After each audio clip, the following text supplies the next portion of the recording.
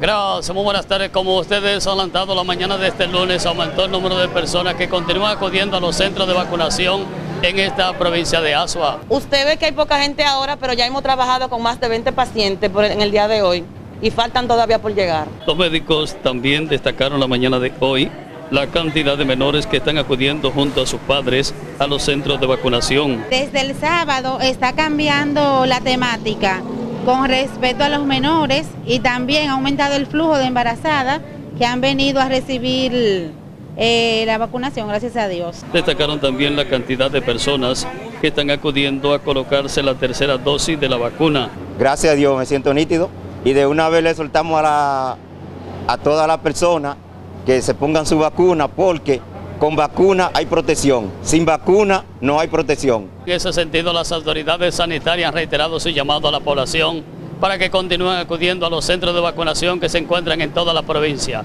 Esta es toda la información que tengo desde Aso de Compostela. Ahora yo retorno con ustedes al centro de noticias.